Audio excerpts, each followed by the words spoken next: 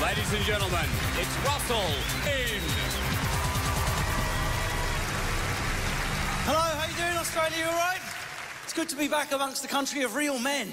Look at you, brutes. I see the size of brutish men. I saw one guy on the way in, not one ripple of meat, not two, but three. A triple ripple of fat between neck and head. Proper hardcore Aussie. Always with a tiny, beautiful female as well. Do you know what it's like? I'm recently single. Do you got any idea what it's like to be a single guy with a horrible, rapey gaze constantly surveying the horizon? Do you know what I mean?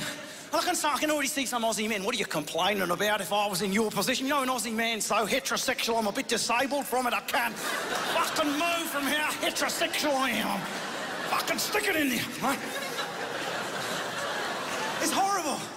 Just hunting for the girls with low self-esteem because I've got no confidence myself, right? if all the girls with low self-esteem could just get in the one corner after the gig, it would make my life a lot easier. I've got no confidence since my boyfriend left me. Get in the fucking van, get in it. I keep ending up on dates with really inappropriate girls. Girls don't even want to be out with when I'm trying to prove my own masculinity to myself because I'm a bit camp. I can see some of the Aussie males going, he's definitely one of them. Why is he talking about women? I can tell by the look of him, he's one of them. Huh?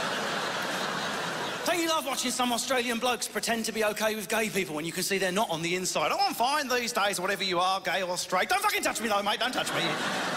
fucking break your hands off, put you in the ute. You know? Is there any guy in the room that's good at saying no to a girl? I'm not. How many room were given the talk by their mums or dads? None. Every single girl in this room was given that. If you don't want to go through with it, babe, you just tell him. It's your right to say no at any time you like. Even if you're back at his and you're half naked, you can still say, I'm sorry, I've changed my mind. It's your right. Okay, mum, have a nice night. Bye. Right, everyone's... Every girl's had that. How many guys in the room have had the equivalent talk from their dad? Not one of us. You don't have to fuck her, mate. You don't have to. Yeah? It's not... If she is lying there, shaven and oiled and begging you to fuck her, you can refuse. If she... If she les his mate and then says fuck us both, just walk away, boy. Don't be questioning.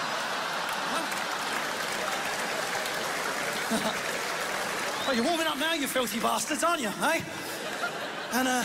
Can't get drunk in Australia while I'm here. I won't get back to wherever I'm staying. You have to get drunk in the town you get drunk in Australia, because only a handful of them are easy to pronounce, like Melbourne. Most of them.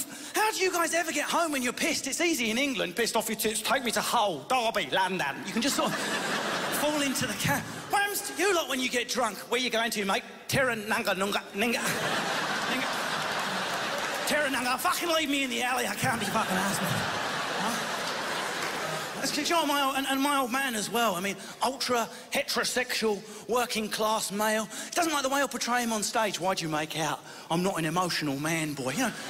And there's loads of Aussie dads like that. They want to be, they love, but they're not loving. Do you know what I mean? I love you, I'll jump in front of a car for you, but between the ages of 12 and 18, I won't speak to you. That's what. And he says, when I see you on them programs, boy, and you make me look unemotional, why'd you make out I'm not a loving father? And I think, wow, here comes the confession of love. It's taken me satirizing his masculinity on television for him to come forth and declare his love in the kitchen. I know it's going to be a bit American and awkward for a British ear. You know, Christmas, where suddenly your dad's over 50, the hat's skew, if he starts to cry and show his emotion, because that's when men finish puberty at 50. at 50.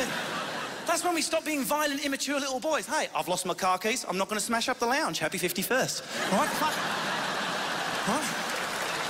Yeah? And, uh, and he goes, why do you make out not a loving father? And I thought he was going to tell me he loves me. Do you know what he came out with? Why do you make out I'm not loving? I never fucking hit you. That was it. Father of the year as long as you don't beat him. And he backed it up with this. Do you know why I never hit you? Here I thought there comes the love. Do you know why I never hit you? Why, Dad? Why, Daddy? I might as well have said. I was so craving it. Do you know why I never hit you? Why, Dad? And this is what he said. Because if I started, I wouldn't have fucking stopped. Right. Ladies and gentlemen, good night. Thank you very much.